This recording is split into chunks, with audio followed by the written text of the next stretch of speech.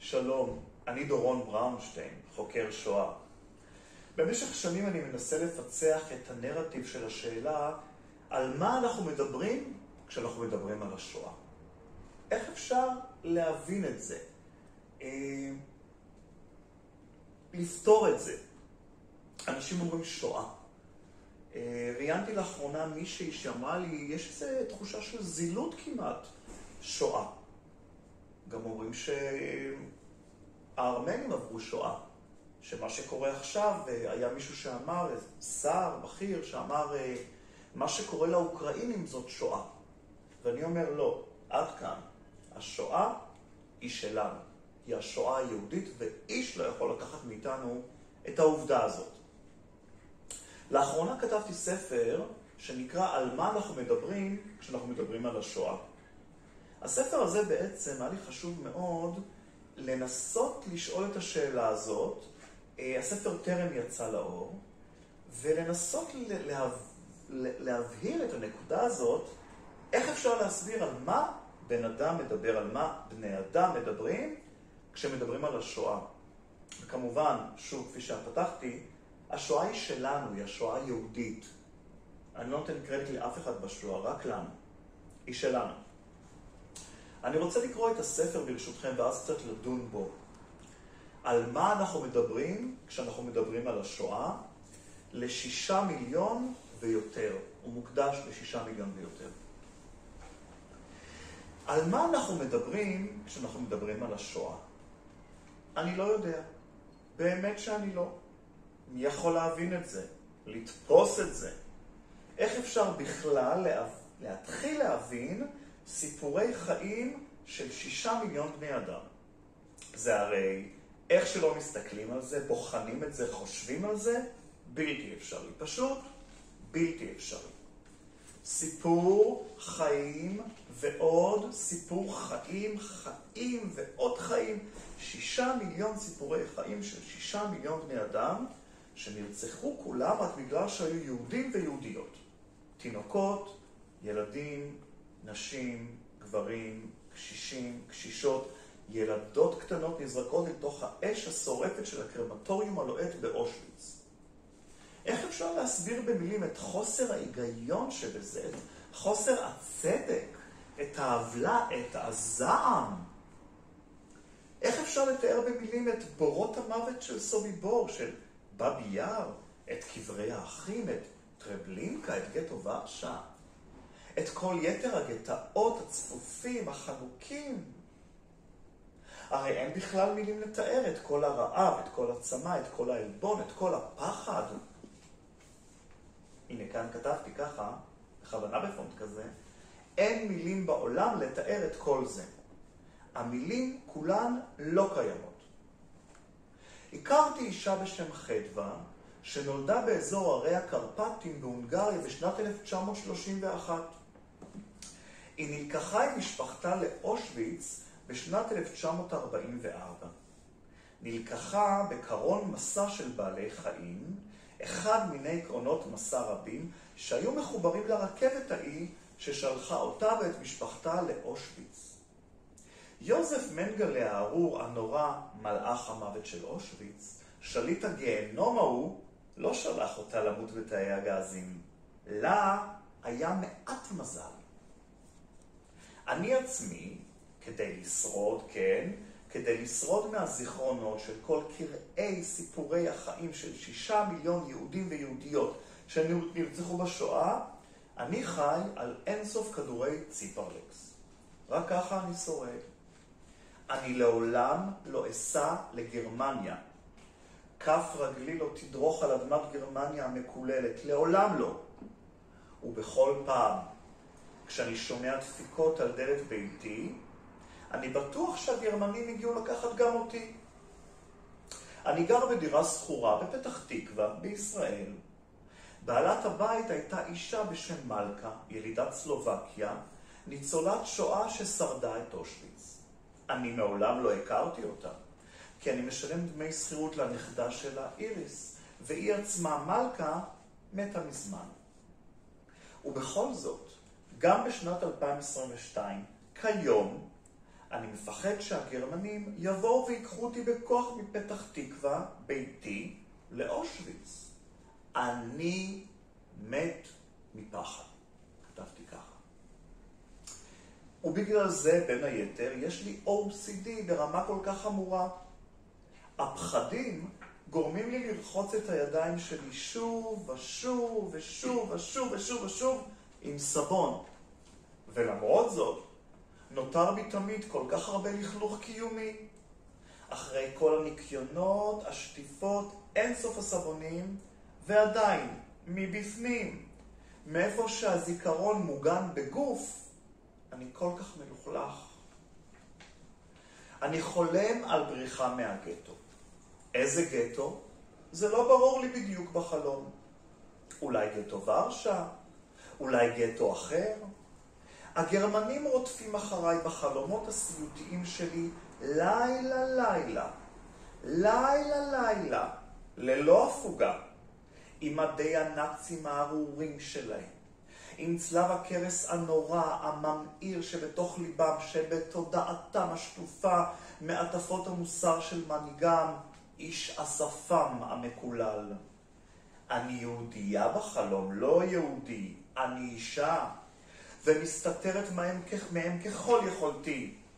הם לא תופסים אותי בחלום, אבל במציאות, כן, אני שלהם במציאות, כולי רק שלהם. אז, על מה אנחנו מדברים כשאנחנו מדברים על השואה? על מה לעזאזל אנחנו מדברים?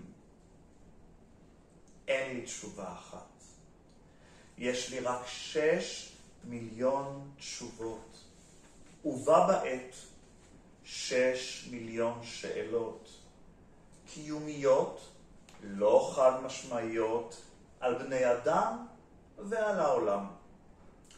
כל כך הרבה דברים, צורות, צבעים, ריבועים בתוך משולשים, בתוך מאוינים, בתוך מעגלים נשרפים, רגעים מתים, זיכרונות מורעלים, פחדים מושרשים, תחושות אבדון, אמוציות, חרדות על גבי חרדות, מלופפות בחרדות, דוקרות עד זובדם כמו גדרות תיל, עולים לי לראש כשאני שומע את המילה הארורה, המחרידה, המילה האיומה מכולן, המקננת מקוננת, המכוננת, האמפירית, הקליידוסקופית, השנואה, המזעזעת, המזועזעת, המרעידה זיכרון וגופות מתים ושיגעונות קיומיים, שואה. אני לא יודע אפילו מאיפה להתחיל, אני לא יודע במה. ואז אני לוקח נשימה, חושב לעצמי, רגע אחד, אני הרי גבר יהודי, הומוסקסואל, בשם דורון בראונשטיין, בן אדם בעולם שנולד ביום השני במאי לשנת 1976 בישראל, גבר יצירתי מאוד, בכך אין כל ספק, מוכשר, פורה, בן 45. גבר שגר בפתח תקווה, בישראל, בשנת 2022, אז בעצם, ממה אני כל כך מפחד? ולמה? למה אני לעזאזל מפחד בשנת 2022 בישראל מגרמנים שאולי ידפקו לי על הדלת ויקחו אותי בכוח באיומי רובה לתחנת הרכבת ושם הם ידחפו אותי במקלות ובעלות לתוך קרון דחוס עד אימה, חסר אוויר ואור, עמוס באנשים מפוחדים ממש כמוני, קרון מסע של בעלי חיים שיקח אותי לאושוויץ. למה אני כל כך מפחד מגרמנים? למה אני מדמיין שאני בגרמניה, שאני בשואה, שאני בורח כל הזמן? בכוונה זה נכתב בפונט כזה גדול ומנקר עיניים. אוי, אושוויץ, אושוויץ. מה שאת עשית לי בזיכרון ובנפש. אוי, השואה הארורה שהגרמנים הארורים, בני העוולה, עשו לנו היהודים. הגרמנים הם בני עוולה, בני עוולה, בני עוולה. כך בספר. לפעמים אני רואה סרטים על השואה ויודע בוודאות, גם אני הייתי שם. בבולד. נוער היטלר היכה אותי. נוער היטלר פגע בי. נוער היטלר עשה לי דברים שאסור לדבר עליהם, שאסור אפילו להיזכר בהם, אחרת תשתגע. יש לי עוד הרבה מה לומר ומה לכתוב על השואה. שישה מיליון סיפורים המהווים מבחינתי חיים של שישה מיליון יהודים ויהודיות, קדושים וקדושות. אבל אני מעדיף כעת להחריש. אתם מבינים? קשה לי נורא עם הזיכרון. וליתר דיוק עם אינסוף הזיכרונות, ושברי הזיכרונות, ורסיסי הזיכרונות, וקיראי הזיכרונות, שאין להם מילים. שאין כל דרך טקסטואלית, ורבלית, הגיונית, לתאר אותם. קשה לי כל כך, יום וליל, יום וליל, לשאת אותם בתוכי, לחיות עם כולם בי. כמו מוות על גבי מוות, בתוך מוות, מסובך במוות, מלופף כל כך בקשרים אינסופיים, בלתי ניתנים להתרה במוות. כמו עצים כבדים מדי, אינני יכול לסחוב את כולם עוד על גבי, בנשמתי. אני רק אדם אחד, רגיש מאוד, חלש. למזלי, יש לי את הציפרלקס. אין סוף ציפרלקס. וכך אני שורד. בדרכי, כך אני קיים. ציפרלקס ועוד ציפרלקס. זיכרון ועוד זיכרון. סיפור ועוד סיפור. חיים ועוד חיים. סוף ועוד סוף. עד אין סוף. ואז עוד. עד אין סוף. עד אין סוף. עד אין סוף. ויום אחר יום, ולילה אחר לילה, אני שואל את עצמי את אותה שאלה, המנקרת, המבלבלת, הברורה בתשובתה רק לכאורה, על מה אנחנו מדברים כשאנחנו מדברים על השואה.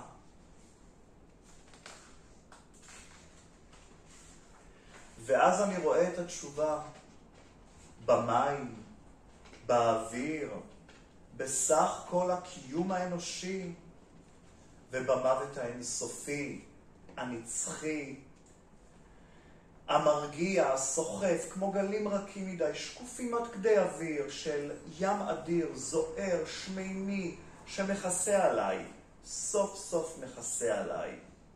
ואז הם נפתחים בי. העולמות הבאים אחריו, העולמות העליונים. הכל קשור לתשובה לשאלה הזו הרי. סיפור חיים ועוד סיפור חיים. מורכב מאין כמוהו, קשה מדי לפענוח, עצוב, עצוב נורא. אין לי את כל התשובות, רק את חלקן. לשאלה הזו, השאלה הקשה מכולן. אבל יום אחר יום ולילה אחר לילה, אני מנסה בכל זאת לענות עליה. מנסה בכל כוחי למצוא את התשובה. וגם כשאני בטוח שהנה, סוף סוף מצאתי. גם כשאני נוגע באיזה זנב משוגע של היגיון קלוש של תשובה, גם כשאני מצליח איכשהו, וכנגד כל הסיכויים, לכאורה לענות, אני יודע בוודאות אני נזכר. אין תשובה אחת לשאלה הזאת. לא קיימת תשובה אחת בלבד. יש אין סוף תשובות, וגם זה אולי. למען הדיוק, שש מיליון תשובות, על פי מספר היהודיות ויהודים שנרצחו בשואה. וכל אחת ואחד מהם סימן קריאה וסימן שאלה על לוח ליבי, ובה בעת על לוח קיומו של העולם הזה כולו. כל אחת ואחד מהם הוא נס ענק, אין סופי, ייחודי מאין כמוהו. נשמה עליונה בעולם ארצי, וכאב. כאב שלעולם כמוהו העולם לא ידע. אני מאוד הרגשתי אה, כשקראתי את הסיפור הזה, את הספר הזה, על מה אנחנו מדברים כשאנחנו מדברים על השואה, עם כל ה... אה, כמובן הסימבוליות של אה, הסמל של השואה, ג'וד, הרגשתי בעצם כאב, כי אני חוקר את הנושא, אני עוסק בזה. אה, זה חלק ארי, אדיר, חשוב כל כך מחיי, גם כבן לדור שלישי לניצולי שואה, גם כבן ל... דור שני לילדים של, של שורדי שואה. גם כמי שראיין כל כך הרבה אנשים, כל כך קשה לי, כי אנשים מדברים על השואה, ולפעמים אני מרגיש שהם יודעים, שהם לא יודעים. וגם, אתם יודעים, היום לדוגמה, היום זה יום שבו במשך שעות אני עוסק בשואה. אה, הצלם שמצלם את הסרטים יעיד, ואני מרגיש שאני רואה בזה שליחות אדירה וחשיבות אדירה, אבל, אבל מה אנחנו בעצם, איך אפשר להסביר את זה? הרי בינינו, היום זה שנת 2022, אה, רק מי שהיה שם, שהיה במחנות, שהיה במחנות הריכוז, במכונות ההשמדה, אה, שהיה בגטאות, רק מי שהיה באושוויץ, מי שברח, מי שהיה פרטיזן, והרי רק מי שהיה שם יכול להגיד מה הוא חווה. זאת אומרת, קטונתי, לא משנה כמה שאני חוקר וכותב ומתעניין, ואין לזה סוף. ולא משנה כמה שעות ביום אני עוסק בזה, אין לזה סוף. אז מהי בעצם התשובה? על מה אנחנו מדברים כשאנחנו מדברים על השואה? מי יכול לדעת? מה זה, רק אושוויץ? רק סוביבור? רק בבייה? רק המחנות? מה עם כל הסיפורים של ההסתתרויות? מה עם הסיפורים של האנשים שחיו בזהות בדויה, בשם אחר, כנוצרים, כנוצריות, ב, ב, בכנסיות? מה עם הכאב שלי והצער שלי והזעם שלי על הכנסיות, שברובן לא הגנו, על הממסד הנוצרי, הקתולי, איפה הם היו בסיפור הזה? יש אין סוף שאלות. אין סוף שאלות, ואני אסיים את הסרט הזה בשאלת שאלה שבה עסקתי. האם מישהו יודע בכנות, באותנטיות, מלבד מי שהיה שם, על מה אנחנו מדברים כשאנחנו מדברים על השואה? ואני אשמח להשאיר את זה כשאלה פתוחה שכל אחד ואחת שצופים בנו כעת יוכלו להגיד לעצמם, לנסות לפתור את השאלה הזאת. על מה אנחנו מדברים כשאנחנו מדברים על השואה. תודה שצפיתם.